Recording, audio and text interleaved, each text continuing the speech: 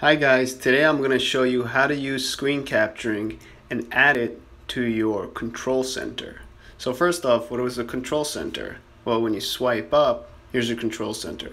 So keep in mind I'm using iOS 11 and so should you be. So let's see, so first off, if you hard press on any one of these, you're going to get a couple cool options.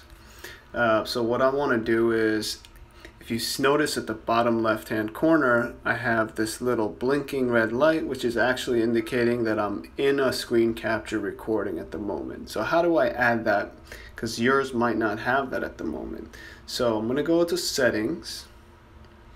Then I'm going to go to control center. And I'm going to go to customize controls.